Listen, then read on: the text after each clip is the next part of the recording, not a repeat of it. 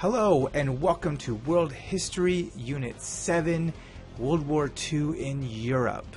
Okay, so if you remember where we left off in Unit 6, World War II had just broken out as a result of the last straw for Britain and France, which was Germany's invasion of Poland, which, if you recall, had been divided up with Russia.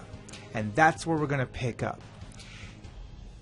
Russia also known at the time as the USSR, signed a non aggression pact with Germany.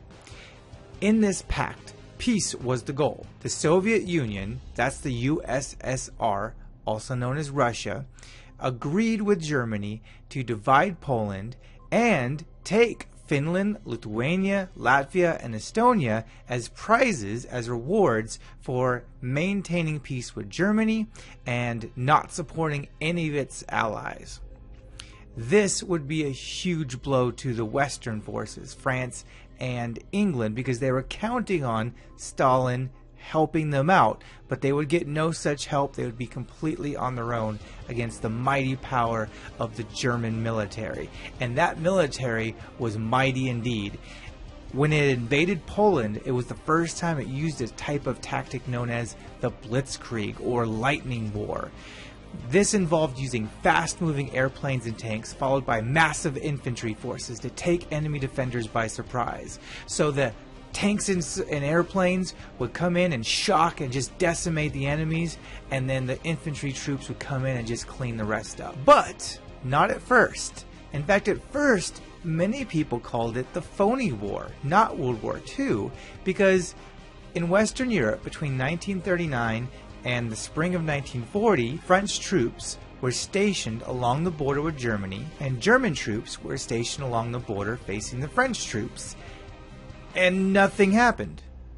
The French were waiting for the Germans to attack, but nothing happened. No shots were fired, no advances were made, and the reason why is because, unbeknownst to the French and the English, the Germans were setting up a surprise attack, which would just absolutely devastate the French forces. That German sneak attack surprised the French troops so horribly that it pushed them all the way to the beaches of Dunkirk and if not for the British at the Battle of Dunkirk, the French military would have been completely eliminated by the Blitzkrieg attack of the Germans. The British Royal Navy sent over 850 ships, but not just military ships, civilian citizen ships, boats, rowboats, fishing boats, uh, pleasure yachts, whatever could float on the water and move was used to rescue the French troops, saving over 338,000 lives from the German assault. This was the biggest military rescue operation in the history of the world at the time. Charles de Gaulle, the defeated leader of the French military, was forced to live in exile through most of the rest of the war, leading his troops as best he could from the safety of Britain. But Germany, not willing to give up, continued to pursue the French because it didn't just want France, it also wanted to take the British Isles, England, and a series of battles between German and British air forces was fought over Britain from 1940 to 1941.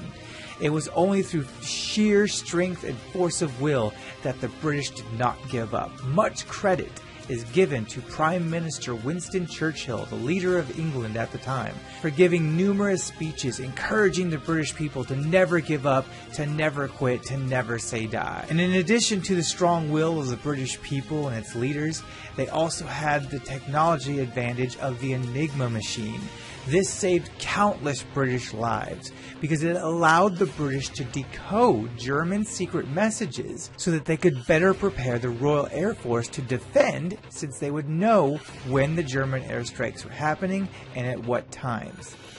In 1941, unable to make any further progress and having to spend a lot of his resources without making any progress, Hitler finally called off his attacks so that he could refocus his efforts on Eastern Europe. However, at about this time, Germany was starting to realize that it was not quite equal partners and that Italy was going to be a liability. Italy, in its invasion of Ethiopia, was beginning to lose badly. They just weren't as organized or as technologically advanced as the German forces.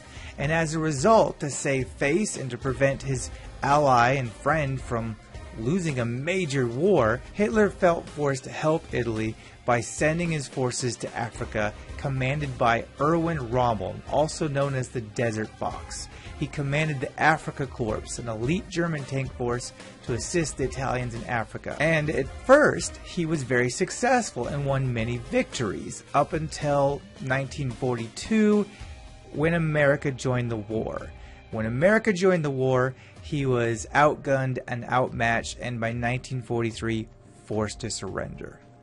But before we talk too much about America, we're going to have to rewind the timeline a little bit, jump over to Asia, and that's where we're going to close this video off before we go into how America joined the war and eventually how the war came to a conclusion. If you have any questions, let me know in class, and thank you.